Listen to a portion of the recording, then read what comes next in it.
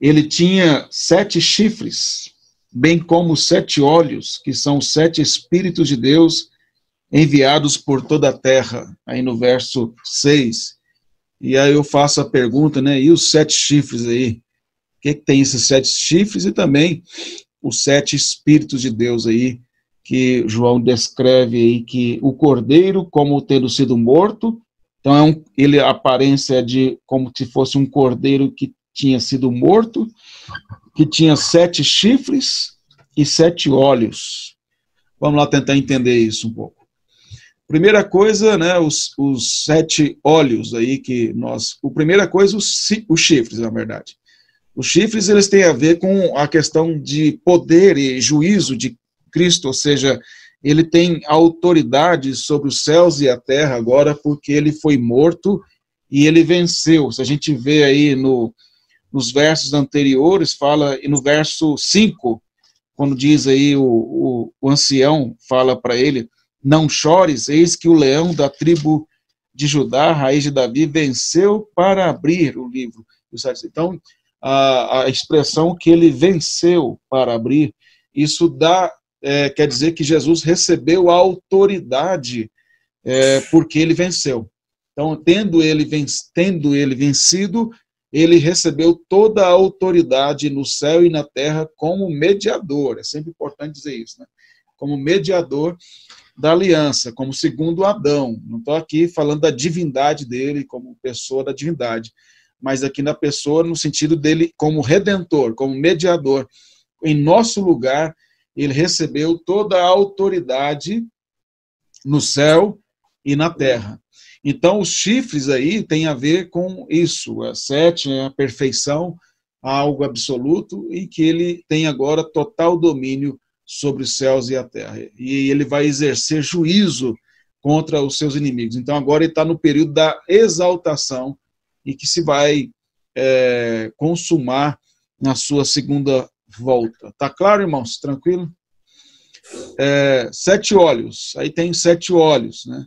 Aí você precisa entender que esses sete olhos têm a ver com o fato de que ele tem conhecimento de todas as coisas. A gente pode lembrar aí a importância da gente ter visto cada uma daquelas cartas às sete igrejas lá, que ele dizia claramente: né, Eu conheço as tuas obras, eu conheço as tuas obras, eu sei, tal, sempre mostrando que ele é aquele que conhece, que sabe, a onisciência de Cristo. Então, esses sete Espíritos de Deus é falado também lá no capítulo 1, mas é com relação ao Espírito Santo, lá no capítulo 1, verso 4. É, pedir a, a, a Jô. Tá fácil aí, Jô, para você ler? 1,4. 1,4? É. João, as sete igrejas que se encontraram na Ásia, graça e paz a vós outros, da parte daquele que é, que era e que há de vir, da parte dos sete espíritos que se acham diante do seu trono. Uhum. Lembra que a gente trabalhou esse texto e era até presencial, eu mostrei que ali falava da trindade, tem a parte do Pai, do Filho, do Espírito Santo, e ali falava do Espírito Santo. Então, ali no, no, capítulo 1, verso 4, quando você fala dos sete espíritos, tem aquele candelabro, ca, candelabro, né? lá do, do, tabernáculo, tem sete, sete lâmpadas que apontavam para o Espírito Santo. Eu expliquei isso na, lá no começo. Então, lá no capítulo 1, verso 4, quando fala dos sete espíritos, refere-se ao Espírito Santo, falando dele como sendo aquele que conhece todas as coisas.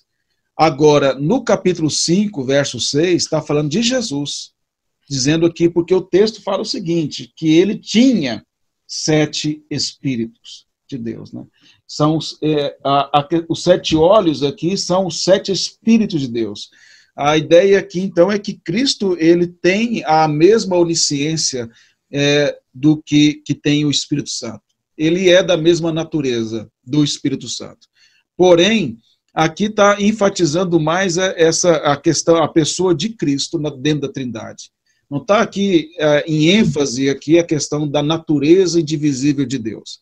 Está aqui em ênfase a questão da segunda pessoa da Trindade, que é aquele que tem autoridade, porque ele é Deus homem. Ele tem autoridade, como segundo Adão, sobre os céus e a terra, e como e ele é o próprio Deus encarnado e exaltado. Por isso ele é onisciente, tanto quanto o Espírito Santo. Então ele não, ele não é menos do que o Pai e nem menos que o Espírito Santo.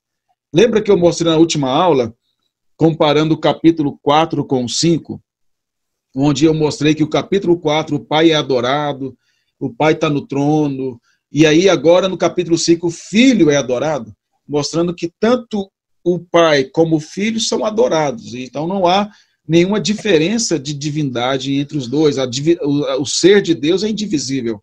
As pessoas são diferentes. Aí é a questão da doutrina da Trindade.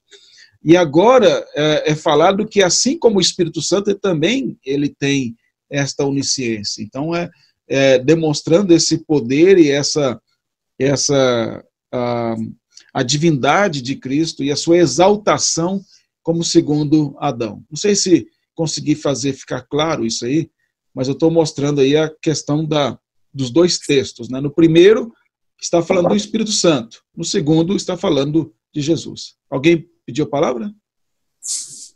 Não? Ó, aqui, ó, o texto diz que o Senhor Jesus tinha sete espíritos, o que significa que nesse momento se refere aos seus atributos, em termos de natureza divina. O Pai, o Filho e o Espírito Santo têm a mesma natureza. Mas quando se refere a, um, a uma pessoa em específico da Trindade, fala-se de seus atributos, como se fosse apenas dele. Então, lá falou do Espírito Santo, como se fosse apenas dele a onisciência, mas é lógico que a onisciência pertence ao Pai e pertence ao Filho. Aqui está falando da pessoa do Filho, então está falando da onisciência dele. Então, é só para entender essa questão, assim, que quando se fala de uma pessoa, está falando do, do atributo dela, mas dela é do ser de Deus. Aí a gente vai entrar em outras questões, mas eu estou tentando não deixar heresia né, quanto à trindade. Nenhum é mais do que o outro. São funções diferentes. Cada pessoa da trindade tem uma função diferente nas suas relações e também no plano redentor. Alguma dúvida, irmão? Sei que é meio complicado essa questão da trindade, sempre é, né? mas estou é, tentando aqui fazer, evitar qualquer heresia com relação a diminuir ou exaltar acima de outras pessoas da Trindade a Cristo. Tá claro, hein? Então vou continuar. Aí tem outra coisa também que é falada aí no, no verso no verso das taças aí, é no verso 8, né? E quando tomou o livro, os quatro seres viventes e os vinte e quatro anciãos prostraram-se diante do cordeiro, tendo cada um deles uma harpa e as taças de ouro cheias de incenso, que são as orações dos santos. Então, nós temos aqui também uma figura aqui que é apresentada por João, que os quatro seres viventes, lembra que eu expliquei que os quatro seres viventes são representantes aqui de toda a criação de Deus, né, que envolve também a humanidade. E os 24 anciãos representam o povo de Deus, é, 12 tribos e 12 apóstolos formando o Israel de Deus, que lá na frente esse Israel de Deus vai ficar vai ficar mais claro ainda, né? Porque no verso 9 ele fala assim: é, os que procedem de toda tribo, língua, povo e nação. Então, mostrando aí que esse, esses 24 anciãos que formam o povo de Deus representativamente, é, esse povo que é o Israel de Deus é formado de todos os representantes de todos os povos, tribos e nações da terra. Forma essa grande multidão incontável que foi comprado pelo sangue de Cristo. Então não é toda a humanidade, são os eleitos de Deus, que João está falando aqui nesses versos aqui. Então, esses 24 anciãos aí, eles têm taças nas mãos e harpa, e, e o próprio texto diz o que significa essas taças. Então, diz que são as orações dos santos. Então, as taças mencionadas por João têm descrição como eram feitas no tabernáculo. Lembra sempre que eu tenho tentado mostrar para vocês que Apocalipse fala muito do Antigo Testamento, sempre mostrando o cumprimento disso é, é o livro no Novo Testamento que mais cita o Antigo Testamento. Aí em Êxodo 25, 29 fala, também farás os seus, as, as ordens para questões do tabernáculo que Deus deu a Moisés. Né? É, também farás os seus pratos e os seus recipientes para incenso, e as suas galetas e as suas taças em que, que hão de oferecer libações de ouro puro os farás. Então, as taças aqui eram é, objetos, aí, como estou explicando aqui, de ouro achatado com pires, onde eram colocados o incenso. Esse incenso que era usado nessas taças, no, no tabernáculo, depois no templo, apontavam para as orações que eram feitas perante o Senhor. Não tem um texto que fala, né, chegar com, com um cheiro suave, né, de incenso, uma coisa assim, de oração, né? Tem um texto que fala isso, eu não lembro agora, mas que fala das orações como sendo um cheiro agradável na presença do Senhor. Essas taças foram usadas também no, no, no templo, que foi construído por Salomão, está lá em 2 Crônicas 4, 22, e quando a Babilônia invadiu Jerusalém, ela destruiu o templo e foram levados para lá. Então, esse aí, depois do cativeiro, elas voltaram para Jerusalém. Então, tem três momentos aí, né? O tabernáculo, quando Deus mandou fazer essas taças e para pôr incenso. Essas taças depois foram utilizadas também é, no, no templo construído por Salomão. Aí a Babilônia invadiu o templo lá, Jerusalém, destruiu lá e, levou essas taças para a Babilônia. Depois, com o cativeiro, o pessoal voltando aí na época de Esdras e Neemias, voltando para Jerusalém, e eles reconstruíram o templo, aí eles voltaram com essas taças de novo para lá. Só para os irmãos entenderem essa questão. Então, a ideia das orações como incenso nas taças, aí, está o texto aqui, eu tinha colocado. é o Salmo 141, 2, ó é, suba a tua presença a minha oração como incenso e seja o erguer de minhas mãos como oferenda vespertina. Então, observem que essa ideia das orações subindo à presença de Deus como incenso, queimando, é, isso já era interpretado no Antigo Testamento. Então, aquelas taças do tabernáculo, é, depois do templo, né, usada no templo, e elas já eram entendidas como sendo é, um símbolo daquilo que era feito pelo povo de Deus em orações. Irmãos, o tabernáculo e o templo, né, porque na verdade o templo é só a, o tabernáculo fixo, né, vamos dizer assim, é construído. É, os utensílios do tabernáculo e do templo é, é muito escatológico. A gente já viu o candelabro que apontava para o Espírito Santo, a arca, tudo apontando para Cristo, sacrifícios e tal é, a, o véu né, que rasgou de alto a baixo, lá do Santo dos Santos, do Santo para o lugar santo, quando Cristo morreu na cruz. Muito, é, tudo era tudo que Deus mandou fazer ali através de Moisés, as descrições, elas foram detalhadas para mostrar essas questões escatológicas né, em Cristo. E agora nós temos as mesmas descrições dadas por Deus, mas do ponto de vista da consumação para João. Então agora João, é como se João olhasse para essas coisas que Deus ordenou e, a, e ele está agora, Deus mostrando através disso, né, revelando a ele, que cada coisa significava realmente em termos de consumação. Então a gente é, é aquela unidade da escritura que vai é uma revelação progressiva. Então as orações dos santos que estão no céu, na presença de Cristo, fazem parte dessas orações que enchem as taças Aí fica uma pergunta, né, Jô? Quem morre e está lá com Cristo, está orando ainda? Parece que sim, né? O que, que os irmãos acham aí? O Leandro está aqui para falar também. Acho que eles oram. O Leandro citou Apocalipse 6, 9. O que, que diz lá? seis, nove.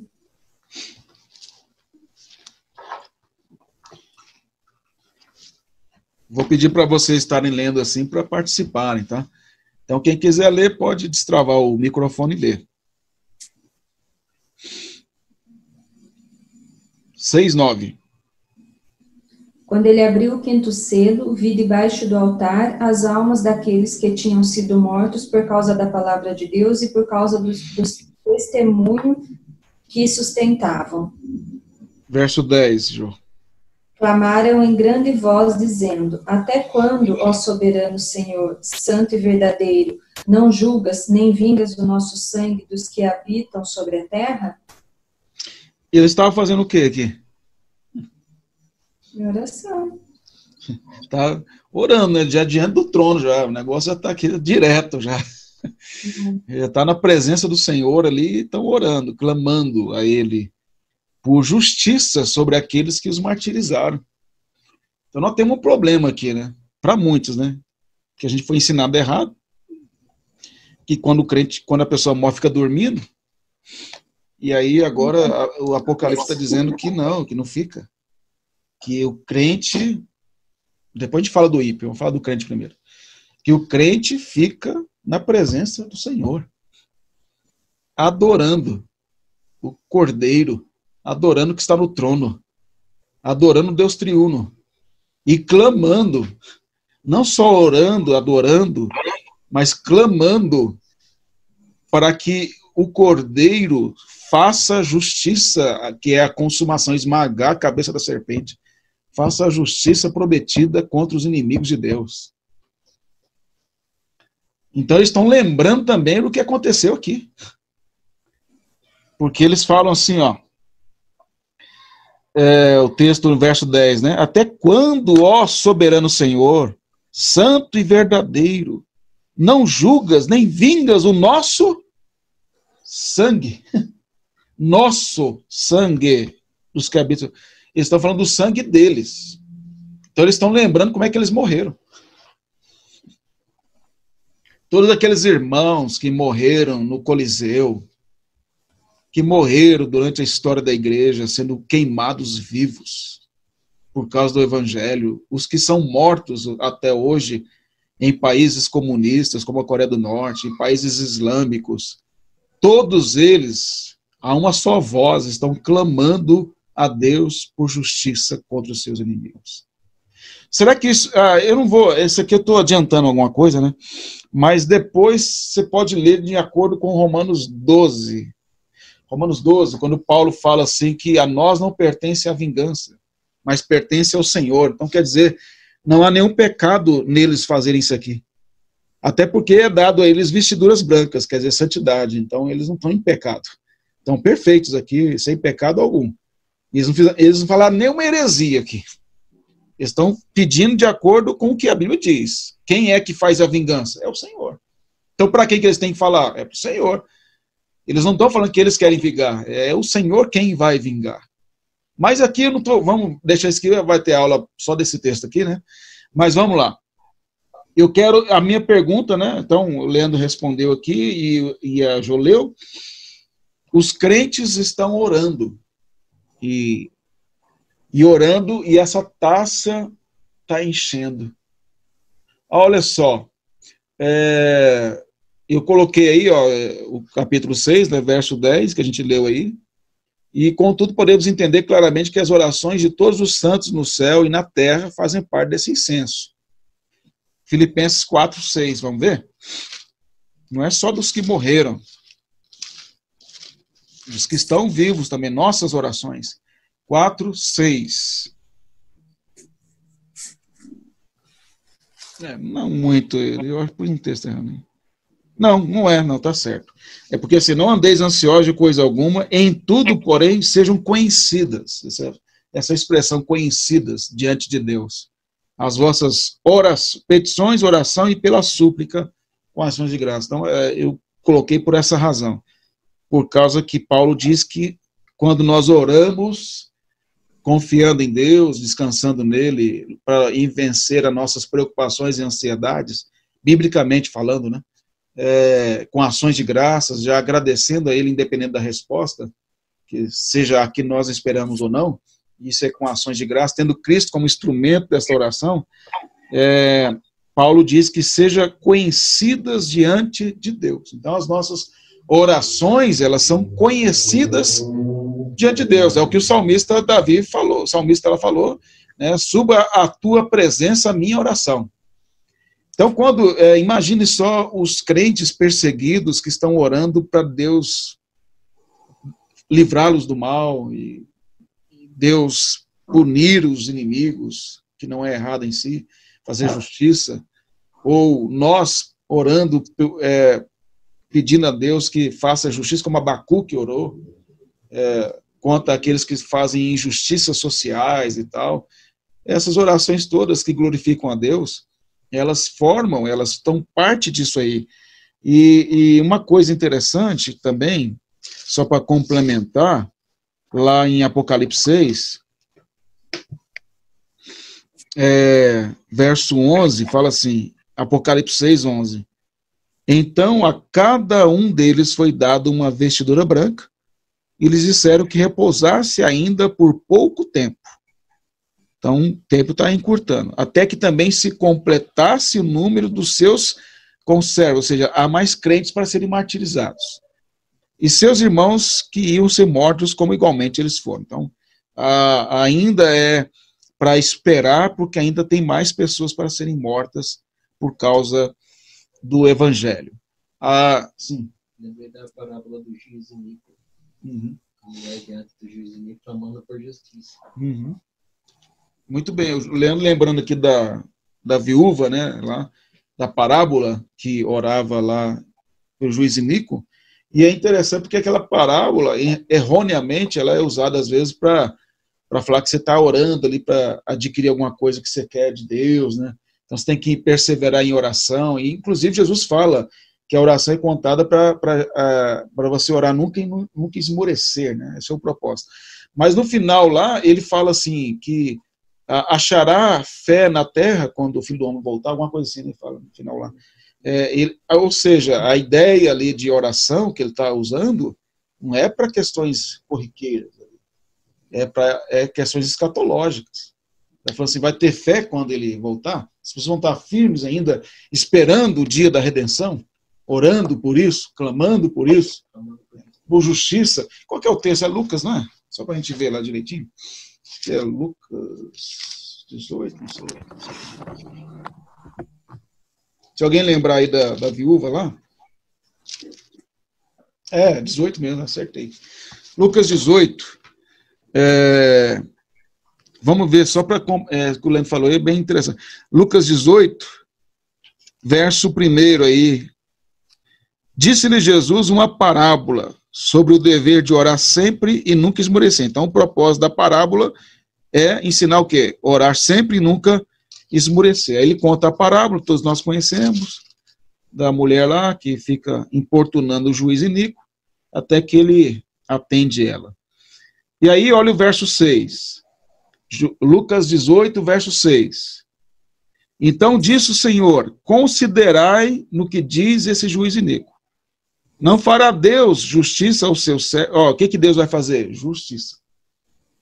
Não fará Deus justiça aos seus escolhidos, que a ele clamam dia e noite, embora pareça demorado em defender. Olha, a outra, outra palavra-chave. Parece demorado em quê? Defendê-los. Então, tem a ver com justiça, tem a ver com defesa. Digo-vos que depressa lhes fará. Olha lá, depressa, né? Lá em Apocalipse fala assim: em pouco tempo. Qual a resposta dada aos mártires? Em pouco tempo vai acontecer, né? Então aqui, depressa. Vamos lá, verso 7, né? É, embora, no verso 8, né? Digo-vos que depressa lhes fará, de novo a palavra, justiça. Contudo, quando vier o filho do homem, achará porventura fé na terra? Então, o que que ele está... Que fé é essa? A fé que espera justiça, que espera defesa. Defesa de quem é que vai defender e fazer justiça? O filho do homem. Então ele está perguntando, será que quando ele voltar, ele vai achar fé escatológica na terra? A mesma que os crentes lá estão na presença do Senhor. Viu como que é, é, é fácil distorcer as coisas? Você pode pegar um texto desse aqui e falar, tá vendo, meus irmãos? Se você tiver perseverança como essa viúva, você vai convencer Deus de que ele tem que dar, ele vai, tanto você orar que ele vai aceitar, ele vai, você tem que insistir. Você não pode esmorecer. Você quer um carro, você quer sua casa, você quer aquele emprego, Você tem que orar até Deus atender. Mas olha só, brincadeiras à parte, mas é isso, irmãos. A, a, a Bíblia não pode ser interpretada isoladamente. Né? Os textos se complementam. Então, ali, se você observar, claramente Jesus está ensinando isso. Ele não está. Ele está interpretando, ele está mostrando. Então, diante disso, ele fala: é isso, isso. Então, não há dúvida. Agora, juntando as peças com o texto que a gente viu, tudo isso para falar das taças, né? Então, a gente tá. Oi? Alguém falou alguma coisa? Não? Vamos lá. Voltando lá para Apocalipse capítulo 5. É, a gente já viu então as. A harpa tem a ver com louvor, né? Então, aí taças, ouro cheios de incenso, que são as orações dos santos. Eu não pesquisei a questão da harpa aqui, mas entendo eu que tem a ver aí com o louvor, porque em seguida tem os cânticos, três cânticos. E se a gente pegar a questão da música, ela não foi instituída quando o tabernáculo foi feito. Foi quando Davi foi rei, e ele, como era músico também, ele instituiu a música na adoração. É, aí que vem a, você pode ver que aí que vem os conceitos de músicas e tal. Davi era um ele, ele tinha harpa, né? Ele tocava harpa até de uma modo tão espiritual que até os demônios que utilizavam lá de Saul saíam né, dele e tal. Então a, a, harpa tem. E aí, se você pegar. Eu estou aqui sugerindo isso, tá? Depois eu vou ver se eu estou certo. Mas dentro do contexto aqui do texto, porque fala de Davi, raiz de Davi, né, tem a ver muito com. Parece-nos, tem muito a ver com essa questão aí. E pelos cânticos que são entoados em seguida. Mas não vou dar total certeza, porque eu posso estar incorrendo erro. Mas vamos lá. Agora temos é, três cânticos no texto. É, verso 9 a 10, verso 12, depois o verso 13. São três cânticos aí, certo? Então vamos ver, os cânticos são de quem? Dos crentes, dos eleitos, desse povo aí salvo, que somos nós, representados aí. O verso 9 a 10. Silvia, você dá para ler aí bem? Fala por causa do, do som aí. Se não der, a gente. Será que dá? Não, né? Só, só se travar o seu microfone. É, tá ouvindo? Tá, agora sim, pode falar. Pode ler, por favor. Entoava um novo cântico, dizendo. A microfonia, acho que tem dois aparelhos ligados aí. Não tiver um, abaixa um, o volume de um e, e só deixa de um. Isso. Pode tentar. Entoava um novo cântico. Vou deixar então, Silvia. É, tá dando microfonia no seu. É, obrigado. Vai, Jô, lê para nós, por favor. O 6, 9? É, 6, 9 e 10. Quando ele abriu o quinto selo, vi debaixo do altar as almas daqueles que tinham sido mortos por causa da palavra de Deus e por causa. Desculpa, Ju, eu falei errado para você. Desculpa. É 5, verso 9 e 10. Você estava lendo esse? Estava lendo o capítulo 6. Não, é o 5, 9 e 10. Ah, eu que falei errado.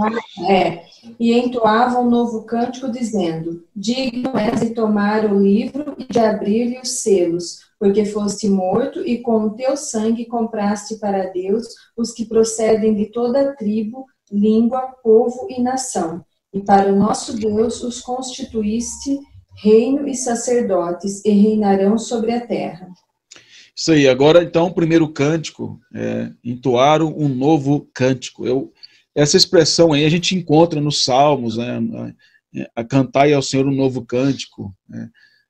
Um novo cântico, isso é, mostra, é, se a gente olhar, a gente vai pegar o Antigo Testamento, em que o povo de Deus, eles cantavam um cântico novo, uma composição nova, vamos dizer assim, é, de acordo com alguns eventos que ocorriam.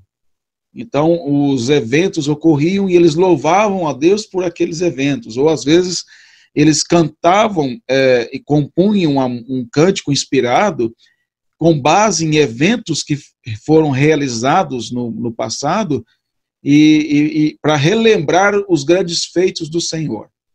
Então eu vou primeiramente passar por no, o Antigo Testamento, porque lá tem um primeiro evento onde Moisés, ele, ele depois da libertação do povo de Israel do Egito, ele entoou é, Moisés e os filhos de Israel este cântico ao Senhor. Aí tem o cântico lá em Êxodo 15, 1, que é grande, você pode ler depois, onde ele vai exaltar a Deus pelas maravilhas operadas pelo Senhor. Também quando o povo passa, está um erro ali, depois eu corrijo, é, quando o povo passa, deixa eu fazer uma, uma marcação para mim aqui, para depois eu lembrar que tem corrigir. Quando o povo passa é, o Mar Vermelho e o, o exército faraó ali é vencido, ali morto, é, Miriam, com as mulheres, elas entoaram um cântico ao Senhor. Cantai ao Senhor, porque gloriosamente triunfou e precipitou no mar o cavalo e seu cavaleiro e Êxodo 15 também, verso 20. Então, você tem dois cânticos aí nesse contexto, desses eventos aí, que é a libertação do povo, incluindo aí a questão da travessia do Mar Vermelho. Então, o cântico foi entoado pela obra do Senhor em favor do seu povo. Guardem isso, em favor do seu povo. E aí, depois tem um segundo evento que eu destaco, que é quando Moisés está despedindo do povo, está próximo da sua morte, no final do livro de Deuteronômio, dá as últimas instruções, ele faz toda uma relembrança daquilo que Deus instruiu o povo nos 40 anos. E aí diz que Moisés recitou as palavras dessa canção, do começo ao fim, na presença de toda a Assembleia de Israel. Então, Moisés, lá em Deuteronômio 31, verso 30, no final do livro, Moisés, já antes de morrer, despedindo, já passando fazer o cajado para Josué, ele então é, faz esse cântico perante o povo, e, e aí, no, é, ao final disso, ao final do cântico, olha que interessante, ao final desse cântico de Moisés perante a Assembleia, quando Moisés terminou de recitar todas essas palavras a todo Israel, disse-lhes: Guardem no coração todas as palavras que hoje declarei a vocês solenemente, para que ordenem a seus filhos que obedeçam fielmente a todas as palavras desta lei. Elas não são palavras inúteis, são a sua vida. Por meio delas vocês viverão muito tempo na terra da qual tomarão posse do outro lado do Jordão. O cântico foi entoado por Moisés, o último cântico com o povo de Israel, antes deles possuírem a terra. Então veja, olha, vamos, vamos pensar. Primeiro cântico que eu citei é de Moisés e Miriam, foi depois da libertação do povo de Israel do Egito e a travessia do Mar Vermelho. Segundo momento, segundo evento, eles é um cântico que precedeu a posse da terra. E aí, um terceiro evento que eu destaco é que os profetas depois, é, como Isaías, também entoavam cânticos ao Senhor, cantai louvores ao Senhor, porque fez coisas grandiosas, ou, ou seja, o louvor é por causa das grandes coisas que ele fez.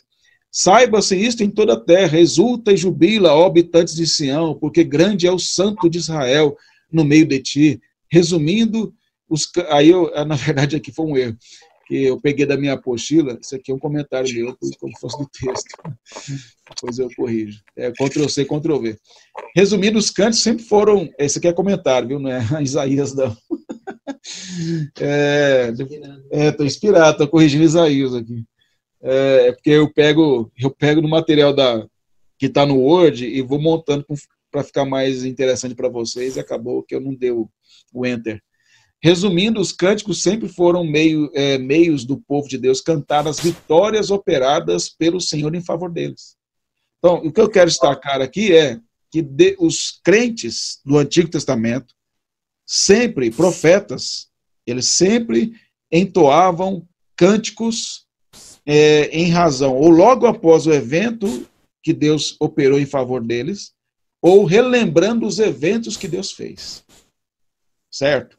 Então, se a gente olhar, por exemplo, no Novo Testamento mesmo, é, 2 Timóteo, 2 Timóteo ou é 1 Timóteo? Só olhar aqui. Aquele, tem aquele, é, no, é, 1 Timóteo, capítulo 3, abram lá para vocês verem, tem um cântico aqui que provavelmente esse cântico era entoado pela, pela igreja primitiva, e Paulo coloca como cântico inspirado aqui. É, Eu até preguei já esse texto para a igreja aqui. É, 1 Timóteo 3, verso 16. 1 Timóteo 3, verso 16. Evidentemente, grande é o mistério da piedade. Essa parte aqui final do verso 16 é um cântico, que é entoado pela igreja. Aliás, nós cantamos isso, né? Tem uma música que a igreja canta baseada nesse texto aqui. Aquele que foi manifestado na carne, justificado em espírito, contemplado por anjos, pregado entre os gentios, crido do mundo, recebido na glória. Aqui do Salmo 24. Ele canta para O 24 eles somaram isso aqui, né? É. é o Lento está lembrando aqui que nós cantamos aquele cântico que fala do Salmo 24, quem é o rei da glória, e aí esse, essa parte é, é colocada lá, e corretamente, né? porque Agora, olha que, olha que esse, esse cântico aqui está ensinando. Aquele foi manifestado na carne. O que, que, é isso aqui? A encarnação de Cristo, não é? Está louvando a ele pela sua encarnação. Foi justificado em espírito. Isso aqui tem a ver com o momento em que ele é concebido pelo Espírito, é, ele é batizado pelo Espírito, ele é ressuscitado pelo Espírito. Então tem a ver com essa questão. Contemplado por anjos, quando ele nasceu, contemplado, quando ele foi para o deserto, contemplado por anjos, alimentado ali por anjos, é, quando ele é, é, é foi exaltado também, foi contemplado, é assunto aos céus, é, pregado entre os gentios, a pregação do evangelho, crido no mundo, a expansão do reino, e recebido na glória, exaltação dele. Veja que aqui é um cântico que fala, é, resumidamente, dos grandes feitos de Cristo, aqui como redentor. E aí eu estou querendo mostrar só para vocês, fundamentando, fundamentando aqui a, a, questão de que quando se fala um novo cântico, né, o, tem o, acho que é o Salmo 96, que ele fala, Salmo 90, é, olha só, abra lá no Salmo 96 para vocês verem só quanto que faz sentido tudo isso, né, eu acho isso bom demais, né. É que não, dá tempo para eu colocar tudo isso na apostila aí. Mas, é, mas tem a gravação agora que vai ajudar. Salmo 96. Eu vou ler aqui porque eu vou lendo e interpretando para vocês, tá? Olha só. Cantai ao Senhor um cântico novo. Cantai a quem? Ao Senhor. Senhor aqui todo maiúsculo, a Yahvé. Cantai ao Deus da aliança. O quê? Um cântico novo. Cantai ao Senhor. Todas as. Todas as terras. O que que lá em Apocalipse está falando? Que quem é que cantou lá? É o povo que foi constituído de todos os povos, tribos e nações. Olha o cumprimento disso aqui. Ó. Olha aí. É, cantai ao Senhor, bendizei o seu nome. Proclamai a sua salvação dia após dia.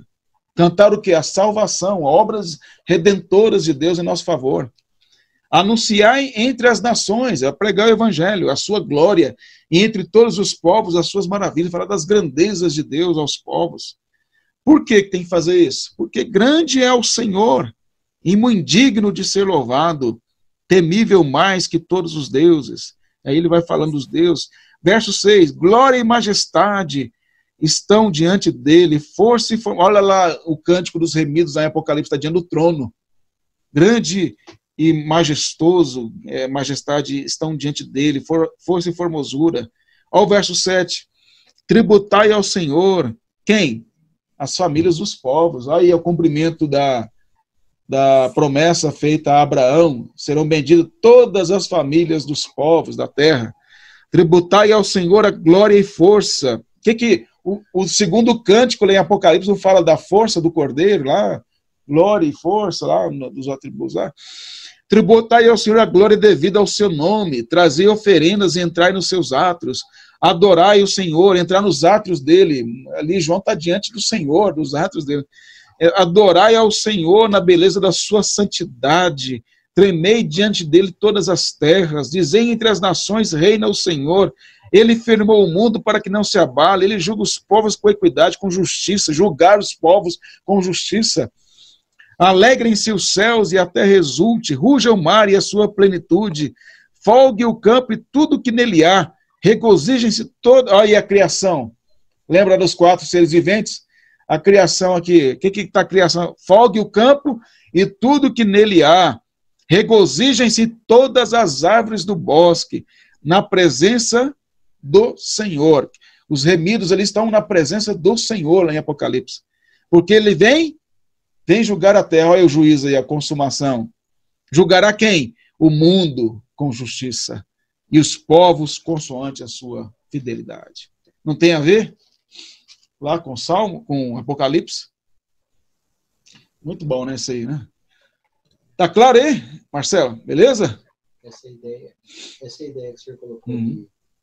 dos cânticos é, louvando a ideia que o senhor colocou dos cânticos louvando uh, a Deus pelos seus feitos tira completamente da gente o antropocentrismo da, da, da, dos louvores atuais, né? Sim. É, isso é muito interessante né, na prática aqui da teologia. É, é, não é o homem nunca no centro da adoração, nos louvores, como é hoje a maioria das músicas. Né? Tem até dificuldade a gente baixar a música para ouvir. Hoje eu estava ouvindo Vencedores por Cristo, aí é música só bíblica mesmo, né? que isso aí é da década de 80, 90. Mas hoje é difícil você ouvir músicas boas, porque elas exaltam o homem.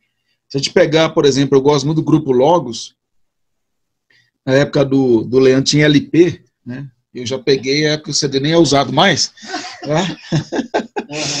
e o LP, eu lembro do LP do, do Logos, né, meu tio, por isso que eu gosto muito do Logos, porque meu tio que me levou para a igreja, ele, ele ouvia muito e o grupo Logos estava no auge na época, e ele tinha os LPs lá do, do grupo Logos.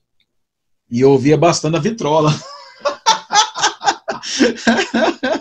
depois no som 3 em 1, meu tio tinha uma vitrola, coisa, né? Depois ele deu ela para mim, depois eu ganhei o 3 em 1. E eu ouvia bastante o, o grupo Logos. Então, as, as capas do LP no grupo Logos eram todas elas, inclusive até hoje eu acho que ainda é, né, dos CDs e tal, era, era sempre assim a, a natureza, sabe? Igual uh, o LP Caminhos, tinha uma entrada assim, uma entre árvores, assim, da, sempre mostrando a criação de Deus, as obras de Deus. Nunca era o Paulo César, que é o principal cantor e compositor, sempre era uh, exaltando a Deus. Diferentemente, você pegar os CDs da Batista Lagoinha, desde o seu início até agora, sempre tem a Ana Paula Valadão ou você pode pegar qualquer uma capa, pode a, a contracapa, tudo é ela que aparece, demonstrando claramente como que as coisas mudaram em termos de centralidade, né? É, o grupo Logos continua, o Paulo César continua ainda, porque é um homem muito crente, piedoso, ele é Nilma, mas ah, diferente do que nós temos hoje. Mas vamos lá, hoje é uma exaltação à personalidade, né? não uma exaltação a Cristo. Por que os remidos cantaram? Né? É, vamos tentar entender. Nós temos aí três cânticos nesse texto de Apocalipse. É, e esses três cânticos expressam verdades fundamentais aí com relação aos redimidos, que, que são chamados de reis sacerdotes. Vamos lá, o primeiro cântico. O primeiro cântico a gente vai ver aqui o que, que o texto nos fala. Olha lá o verso 9, né? É, o primeiro cântico vai apresentar as razões pelas quais o cordeiro é exaltado. Ele diz, porque, ele for, porque fostes morto. Não é isso que diz lá? É, é, digno é de tomar o livro, de abrir o. Porque fostes. Por que, que ele pode abrir o 7C? Porque foi morto. Então, a primeira coisa, eles exaltam a Cristo porque ele morreu na cruz sabem o significado disso, entendem. Não é isso que a gente faz sempre menção disso na ceia do Senhor? Ao participar, nós falamos que é o corpo dele partido em nosso lugar, o sangue derramado na cruz. Ou seja, nós entendemos o apropriar-se da ceia pela fé, não é o elemento em si que tem algum misticismo, mas é entender o que realmente significa esse, esse simbolismo. E, então, os remidos aqui, eles estão louvando ao Cordeiro porque ele foi morto. A é pregação da cruz. Lembra que Paulo falou? A, a, mensagem da cruz é loucura para os que perecem, mas para nós é poder de Deus. Então, foi, foi morto tem a ver com a cruz. E eles então, porque fostes morto. Segunda razão, e com o teu sangue comprastes para Deus os que procedem de toda tribo, língua, povo e nação para o nosso Deus. Segunda razão é porque ele pagou a dívida que era contra nós. Ele comprou, comprou para Deus, o Pai, aqui, né, referência ao Pai, ele comprou do Pai para o Pai. Por quê? Porque o Pai, a dívida era com o Pai, não era com o diabo. Já expliquei isso várias vezes, né? Isso é um erro grande, muito grande, uma heresia absurda dizer que Cristo pagou a dívida por diabo, como se nós pertencêssemos a ele depois da queda. Não. A dívida foi paga para com aquele que a dívida foi contraída. O pecado foi contra o pai. Então a dívida tinha que ser paga a ele, tudo pertence a ele. Agora, ele, como ele não poderia deixar de exercer o juízo contra nós, por quê? Porque ele é reto juiz. Ele não pode passar a mão na nossa cabeça e continuar sendo Deus. Ele não pode pecar, ele não pode morrer. Então, é, Deus não pode ir contra a sua própria natureza. E ele tinha que exercer juízo sobre nós. Como é que ele fez, então, para resolver isso? Ele enviou seu filho, justo, para morrer representando a mim e a você. Então, a dívida foi paga para ele, ele exerceu o juízo que era para ser sobre nós, sobre o filho, e nós fomos comprados para ele. Entenderam aí? Então, veja, essa é a razão do louvor. Nós fomos comprados, poupados desta ira, pagam a dívida que nós não pagaríamos jamais, e ao mesmo tempo, nós não só fomos comprados, e paga a nossa dívida, mas também nós somos agora, é, pertencemos a Ele. Nós agora somos família de Deus. Nós agora somos povo de Deus, somos filhos adotados por Deus. É o que está lá em Romanos, né? O, Senhor não só nos justificou, ou seja, não tornou justos pelo pagamento feito por Cristo, mas também é, o, o, nós recebemos a adoção nós fomos adotados pelo Pai. Por isso podemos dizer Abba, Pai. Então aqui os remidos, eles estão louvando a Deus.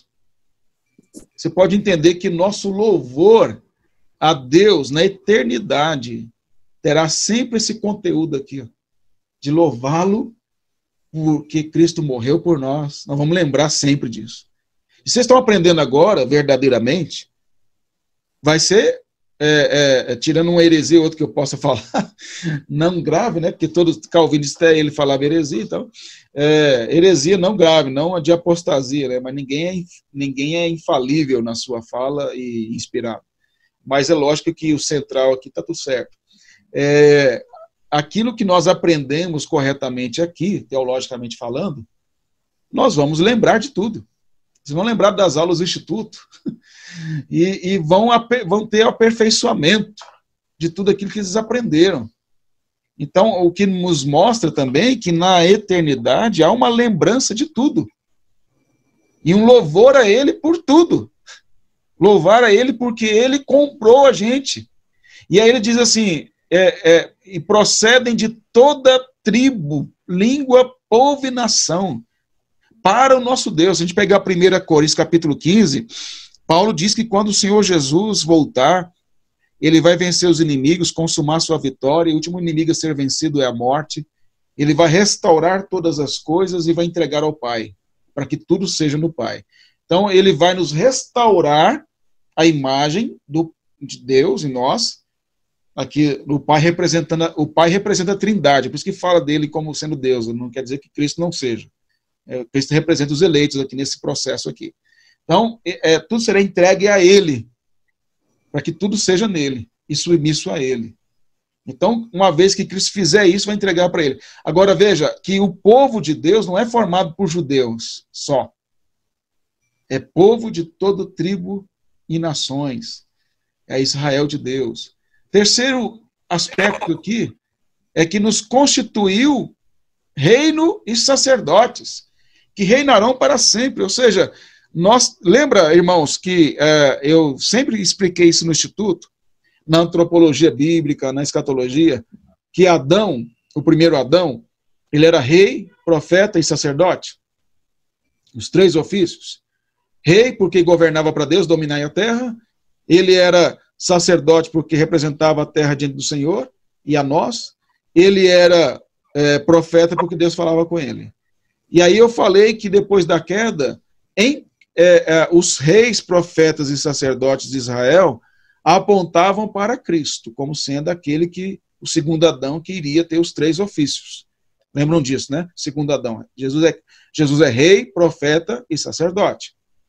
E aí eu falei assim, que a igreja, ela tem o reino, ela, ela exerce o reino, o sacerdócio e o, e, e, e o ofício profético. Como? Porque a igreja é o corpo de Cristo, que é rei, profeta e sacerdote.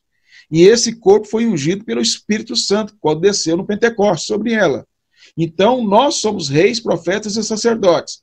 Nós pertencemos a um reino, que é o reino de Cristo, nós reinamos com ele já, mas ainda não. Nós somos profetas sentido que nós pregamos a palavra. Nós somos sacerdotes sentido que nós temos livre acesso a ele por meio de Cristo, ao Pai. Mas, um dia, quando ele voltar, nós teremos esses ofícios perfeitos e completos, realizados em Cristo Jesus. Então a igreja é o que Israel não foi no Antigo Testamento. Rei, profeta, ele nos constituiu reinos, rei e sacerdotes, que reinarão sobre a terra. Dominarão. Veja, o primeiro Adão, dominai a terra, sujeitai-a. Agora é, nós vamos dominar e sujeitar a criação em Cristo Jesus.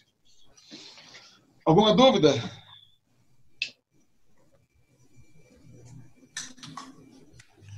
A Juliana chegou aí, né, Juliana? Acho que a Juliana chegou. Oi, pastor, boa noite. Boa noite, seja bem-vinda. Antes tarde do que nunca, né? É, um pouco atrasada, mas tô aqui. É, tá ótimo, importante que você veio. Vamos... Pastor. Sim, pode falar. Essa parte que o senhor falou do cântico dos remidos, é, eu não, não entendi direito. Os remidos é os que já estão lá e quando Cristo volta, como que é? eu não entendi essa essa é, a, a visão que João tem é já da consumação. Então aqui os remidos são representados aqui pelos 24 anciãos, né, que eu lembro que falei dos 12, 12 aqui, né, dos crentes que já já estão na glória, estão louvando. E, e ele tem momentos aqui que João vê, por exemplo, há momentos aqui, é, aqui ó, no verso 11, né, nos dá a entender que ele está vendo os, os remidos todos os tempos, porque ele fala assim, vi e ouvi uma voz de muitos anjos ao redor do trono, dos seres viventes, dos anciãos, cujo número era de milhões de milhões, de milhares de milhares. Então ele está falando aqui de uma quantidade incontável, que nos dá a ideia de realmente ele está vendo a igreja redimida já ali adorando o Senhor. Ah, ele está vendo o futuro, ele está vendo a, a consumação, ele está vendo as etapas e há momentos que ele vê a consumação. É, é, é, por isso que assim a gente quando estudou no início, a gente falou dos sete ciclos de Apocalipse, né? Aquele parece que Cristo vem sete vezes ou até mais. Mas assim há momentos que ele fala como de coisas já consumadas e e aí há momentos que ele fala de coisas que ainda vão se consumar. A gente precisa entender dentro dessa dessa perspectiva aqui porque nesse texto aqui ele está falando de Cristo já exaltado, né, já entrando na presença triunfal de aquele, pegando o livro, é, os selos serão abertos e aí sim vai ser executado as coisas finais. Mas há uma representação aqui do, dos remidos em todos os tempos aqui. Eu, no mínimo eu posso dizer com certeza que João está vendo uma representatividade do número absoluto dos eleitos aqui, sem dúvida alguma. Agora, é, quanto ao momento, é, é, é, o já, é o já e ainda não, né? Ele está ele tá contemplando é, esse povo já formado, porque ele fala de milhões, de milhares de milhares, e, e fala de toda a língua, povo e nação. Isso é uma referência ao que Deus prometeu a Abraão. De todas as línguas, povos e nações seriam alcançados. Eu entendo assim que no mínimo a gente pode dizer com certeza que nós estávamos ali representados. Todos nós. Porque no capítulo 6, aí vai abrir os sete selos. E aí você tem, aí você vai ver que a história, ele está contando como é que ele está falando aqui, ele vai falar de coisas não consumadas. Ele fala, como a gente viu agora o capítulo 6 dos mártires, né? Eles eles estão já mortos, mas tem outros que vão ser mortos. Então ainda não não está completo o negócio. Mas no capítulo 5 parece que está completo. Não é? Eu, eu, eu, eu, vejo dessa maneira. Entendeu, Ju? Entendi. Capítulo 5 parece que a visão que ele tem já é do negócio já pronto. Pelo menos representado tá. Isso eu posso dizer com certeza, sem medo de errar. Agora, o capítulo 6, quando ele vai abrir os selos, aí você já vê claramente que não está no processo da consumação. Porque um, um exemplo que eu estou dando aqui é do verso 9 ao 11 do capítulo 6, que ele fala dos mártires que estão lá e fala daqueles que ainda vão fazer parte. Então ainda tem outros que vão ser alcançados. A gente ainda está no primeiro ciclo, no primeiro sete. Ah, eu tenho que. O primeiro ciclo, se não me engano, é a primeira parte que nós vimos lá, né? Eu tenho que.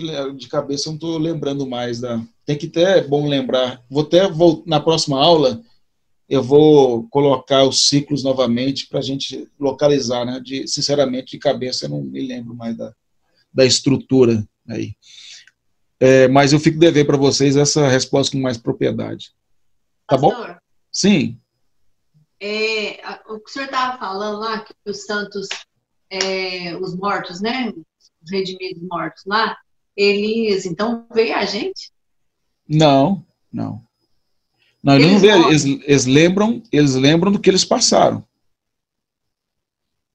Eles estão lembrando que eles foram martirizados e quem os martirizou, na verdade, assim, até quem martirizou pode ter morrido também, mas a questão é que eles, eles estão falando dos inimigos né, da igreja, do povo de Deus, que persegue, que continua martirizando, nos sistemas e tal, ou seja, de todo, tudo aquilo que compõe a inimizade contra o povo de Deus. Então, eles estão rogando a Deus que faça vingança contra eles.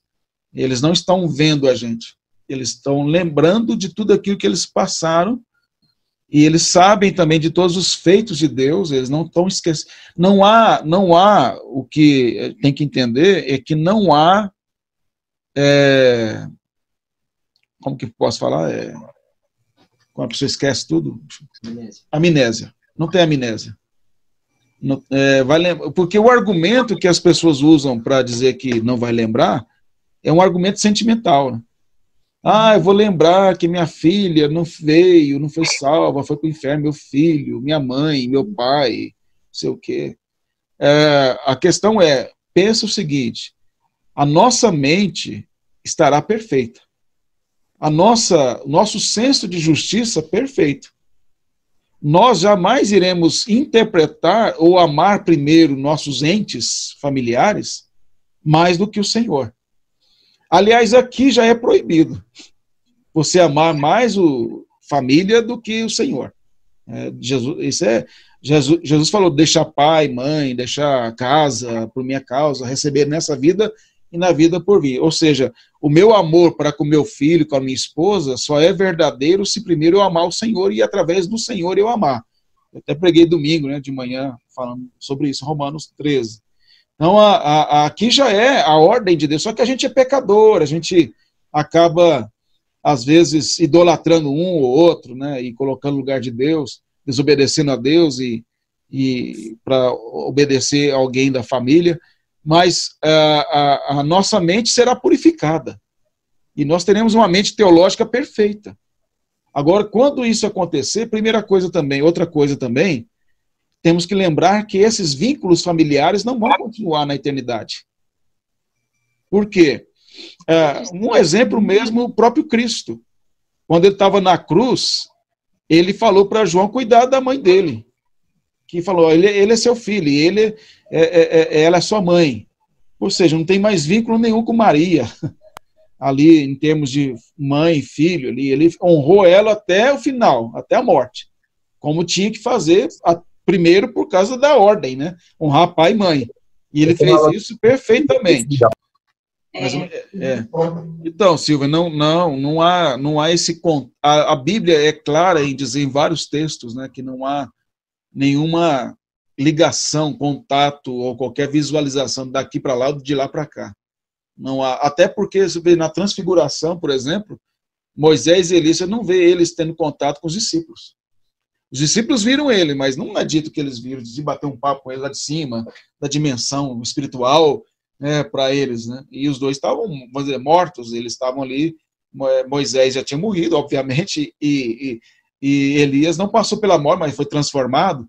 Então, é, é, eles estavam no, no âmbito espiritual né, dos crentes. E eles não. E é, ali quem tem a, a, a, liberdade de acesso de uma dimensão para outra é Cristo só. E aí, mas os discípulos vêm porque eles viram Cristo ali e viram Moisés e Elias conversando, mas não é dito que Moisés e Elias tivessem algum contato ali com eles, ou vendo e alguma coisa ali. E há vários outros textos né, que mostram que, que não há essa, essa, esse contato ou essa visualização do, de quem morreu para quem, quem está é, vivo né, na história. Agora, os crentes estão numa situação de muito privilégio, os que morreram, por quê? Porque eles estão eles estão tendo a interpretação da história a partir do próprio Cristo. Estão recebendo instruções teológicas perfeitas. É, então, eles não estão lá só cantando, orando, não, eles estão sendo instruídos também, aprendendo. Até os anjos estão aprendendo. Nesse, a, a, ideia é que eles estão orando pela consumação. Sim. Não, não, vai consumar lá? Eles estão orando pela consumação, igual lá da, da parábola. Eles estão orando com base aqui na revelação que eles tiveram da Escritura. E com base naquilo que eles estão recebendo lá também. Então, eles estão sendo instruídos, estão sendo aperfeiçoados. Quando eu digo aperfeiçoados, não é que eles não eram perfeitos, estão, já ali eles são, é, já estão perfeitos, né? Mas é aperfeiçoados em termos de conhecimento, cada vez mais conhecimento. E é isso que nós vamos ter. Né? Independente de morrer antes de Cristo voltar, provavelmente não vão morrer tudo antes de Cristo voltar, né? mas a, a, a, a questão é. é que, independentemente do momento que a gente estiver com Ele, é, nós vamos continuar por toda a eternidade aprendendo teologia. Eu digo teologia, estou dizendo no sentido de estudar Deus, né? aprender de Deus, aprender da sua palavra. A, palavra dele é até a consumação. Né? É, de, outras palavras de Deus, mas não mais essa escritura, que outras revelações que ele vai nos dar no decorrer da história, da história não, da eternidade, né, que não terá fim. Então é, é, é, é para sempre adorando ele. Olha, só para a gente terminar essa parte, é, muitas coisas que as pessoas não param para pensar, né? E desconstruir, porque a gente tem muito muito ranço catolicismo, do catolicismo romano. E aí tem aquela ideia de anjinho, batendo asa em nuvenzinha, né? Aqueles negócios assim, meio tal, né? É, tocando arpinha, aquele negócio assim, né? Essa ideia ainda é fantasiosa demais e ela não tem nada a ver com o evangelho, com as promessas. Isso tem a ver com mitologia grega, lá, do, lá de onde ficava o é, Olimpo, né? Onde os deuses ficavam lá e é um negócio assim, nada a ver nos ares, né? Nada a ver com isso. A ideia é de recriação, de restauração do habitat que Deus, que foi afetado pela queda, de trabalhar seis dias e, e no sétimo dia reunir na Nova Jerusalém para adorar o Cordeiro e aqui está no, no trono. Então nós vamos trabalhar, desenvolver cultura, sociedade para a glória de Deus e adorar o Senhor eternamente. Não vai ter nada de negócio de ficar com, deitado em rede, com anjinho tocando arpinha e comendo uva e dando. Não, a gente vai glorificar. O trabalho faz parte, é, tudo aquilo que você viu Adão fazer antes da queda vai continuar, a não ser a questão de casamento né, e, e família. Por quê? Porque casamento e família foram instituições de Deus é, para multiplicação da raça humana. E, e, isso é, você pode ver lá que fala para multiplicar, dominar a terra, está tudo muito ligado a isso. E, e, essa multiplicação tem a ver com. Porque sem ela não teria os eleitos, né? não teria os crentes, não teria. Então, essa multiplicação foi necessária. A família é uma bênção de Deus, mas foi instituída para é, esse propósito de servir ao Senhor, através não só da multiplicação, obviamente, mas servir ao Senhor de modo integral. E formar famílias formariam o quê? Povos. Povos, de povos sairia que a igreja, que é formada de todas as tribos, povos e nações. Então a família é a base para a formação dos povos, dos quais sairia a igreja. Cumprido isso, aí é uma discussão teológica, até teólogo, tem alguns teólogos reformados que pensam diferente. Mas até o primeiro momento eu entendo que, pela argumentação de, da maioria na história da igreja, é que não vai ter mesmo. Jesus falou isso, não se dá em casamento e tal, embora tenha algumas discussões sobre esse texto, mas o fato é que é, é, nos parece que esse, esse, esse aspecto familiar não continua. Até porque, já disse aqui brincando, né? O cara, o cara é crente, casou com a mulher crente. A mulher morre. Ele casa de novo com mulher, outra mulher crente. Morre, casa de novo. Imagina, vamos dizer que casou com três, enterrou três. e aí vai ficar com quem lá, né? com três? aí é mormon. Então tem, é, pela própria lógica, não tem muito sentido isso aí. É, agora, uma sociedade será assim, porque até a questão de Estado, né? O Estado foi criado por Deus depois da queda é, para refrear o mal. Mas o, o, ide, assim, o ideal sempre foi de globalização, no sentido de um governo global que é de Deus. Deus governando para a glória dele um povo, a humanidade, mas a, os impérios que surgiram globalizados e o próprio anticristo vai surgir imitando a Deus, é, é um plágio do governo de Deus para governar a humanidade para a glória dele. A ideia da consumação é que uma monarquia criacional. É. Um rei um governo sobre toda a criação. Exato, é monarquia criacional, exatamente. Deus é o criador e o monarca único, que vai ser adorado por todas as tribos, povos e nações ali representados pelos eleitos. Certo, Silvia? Não sei se consegui, conseguimos aqui, né? Mas é boa, são boas perguntas, né? Porque elas ajudam a gente a pensar sobre tudo isso aí. Bom, vocês estão vendo que Apocalipse não é um bicho de sete cabeças, né? tem sete chifres, tem tal, mas não é, não é assim, não é um negócio para dar medo, não é para dar, não dá alegria para a gente, sim. Tira um peso das nossas costas e tal. É, vamos terminar aqui rapidinho é, os dois cânticos para terminar o capítulo 5? Rapidinho. É, o mais demorado era o aquele lá. Aí tem o último cântico aí, o verso 12, né? Na verdade está errado aqui também. O versículo é o 12 é, que fala assim: digno é o cordeiro que foi morto de receber o hum. poder e riqueza e sabedoria e força, honra e glória e louvor. E aí você tem o cântico aí que fala de sete aspectos ou sete virtudes aí do cordeiro aí, que é receber poder, ele é digno não só de abrir os sete selos, mas ele é digno porque ele é digno de receber poder, riqueza, sabedoria, força, honra, glória e louvor. Sete vezes. Sete vezes tem a ver com perfeição, né? tem a ver com. com a Beth tentando entrar de novo. É sua mãe ou é a Beth? Não, tá. Então é a Beth mesmo. É, então aqui, sete tem a ver com essa questão da perfeição aí, da glória ao Cordeiro, proclamando em grande voz aqui, é, olha só, vi e ouvi a voz de muitos anjos ao redor do trono, seres viventes e o número de. Então você tem a adoração dos anjos, da criação aqui representada pelos seres viventes e dos eleitos aqui, tudo adorando o Cordeiro e dizendo que ele é digno de receber poder, riqueza, sabedoria, força, honra, glória e louvor. E aí, se você pegar, juntar isso com os, o verso 9, que eu, e o verso 10 que eu falei, por que que ele, por que que entoaram um novo cântico a ele? Porque ele morreu, porque ele comprou, porque ele constituiu. Então ele é digno por essa razão. Porque aí se você pegar anteriormente, é porque ele venceu a morte e ele é digno de abrir o livro. Então tudo está junto aqui para dizer para esse louvor ser dado ao Cordeiro, porque ele é, o, é digno de receber poder, riqueza, sabedoria, força, honra, glória e louvor. Olha, é igual que Davi falou em 1 Crônicas é, 29, olha aqui. Teu Senhor é o poder perante a nação de Israel. A grandeza, a honra, a vitória, a majestade, porque teu é tudo quanto há nos céus e na terra. Teu, Senhor, é o reino, e tu exaltaste por chefe sobre todos. Riquezas e glória vêm de ti, tu dominas sobre tudo, na tua mão há força e poder.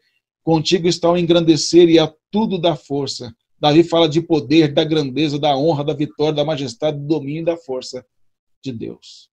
E agora, Davi, que apontava para Cristo, agora os remidos falam dessas mesmas coisas para aquele que é raiz de Davi, aquele que venceu para abrir o livro os sete selos. Tá claro, irmãos, aí? Tá? Terceiro e último cântico.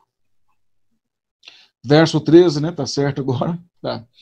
É, então ouvi que toda criatura que há no céu e sobre a terra, debaixo da terra e sobre o mar, e tudo que neles há, estava dizendo. Então agora veja que está ampliando, né? Ele vai falando, ele fala dos seres viventes, ele fala dos, é, é, dos 24 anciãos, ele fala dos anjos, ele fala das multidões dos remidos, e ele fala assim de toda criatura agora, no céu e na terra, debaixo da terra, ou seja, até as minhocas, tudo, né? debaixo da terra, sobre o mar e tudo que neles há, todo domínio, como diz Kuyper, não há um sentido qual Cristo não diga é meu. Tudo, tudo estava dizendo, adorando, até as pedras, tudo, né? não, ele não é ser vivente, né? Mas Jesus falou que até das pedras podia ressuscitar filhos de Abraão. É, toda a criação, todo ser vivente, debaixo do seu domínio. Estava dizendo, aquele que está sentado no trono, então a adoração agora também é ao Pai, nesse momento, e ao Cordeiro. Veja, a adoração é igual. Cristo é tão digno de ser adorado quanto o Pai. Seja o louvor, a honra, a glória e o domínio pelos séculos dos séculos. Então, a adoração aqui não é apenas ao Cordeiro, mas também ao Pai é, nos dois primeiros era ao Cordeiro, os dois primeiros cânticos, e agora é ao Pai e ao Cordeiro. E é um cântico da consumação de todas as coisas, onde o mediador restaurou tudo e entregou o reino ao Pai. Então, os quatro seres viventes responderam Amém. Também os anciãos que representam a igreja responderam, prostraram-se e adoraram. Veja que coisa. Ah, no início desse capítulo, só para terminar, né? No início desse capítulo, nós vimos que é, eles se prostraram aqui, né, lá no começo, porque eles não podiam olhar para o livro, ninguém foi achado digno de abrir o livro. Agora eles estão prostrados diante daquele que abriu o livro, que pegou o livro. Lá no começo também fala, um paralelo aí para vocês observarem que, ora o verso 3 lá, ora nem no céu, nem sobre a terra, nem debaixo da terra, ninguém podia abrir o livro. Olha o versículo 13. Então ouvi que toda criatura que há no céu, sobre a terra, debaixo da terra, sobre o mar, tudo que neles estava, estava dizendo. Agora, aqui não foi achado, nos, as mesmas inscrições, não foi achado na terra, debaixo da terra, no mar, alguém com autoridade para abrir o livro. Mas agora que o livro foi pego né, na mão do Pai pelo Cordeiro que é digno de receber toda adoração, porque venceu, morreu, venceu a morte e está exaltado. Agora toda a criação, no céu, na terra, debaixo da terra, no mar, adoram ao Cordeiro que, e ao Pai. Compreenderam aí ó, o paralelo? Como ter, começa o capítulo, como termina o capítulo? Falando de toda a terra, de toda a criação, não encontrando ninguém que pudesse ser digno, e agora toda a criação adora. Anterior, e agora ela adora uhum. né, consumação, na consumação. Muito bem, exatamente. Romanos fala da, dessa ansiedade e angústia da criação, e aqui nós temos ela adorando o Criador.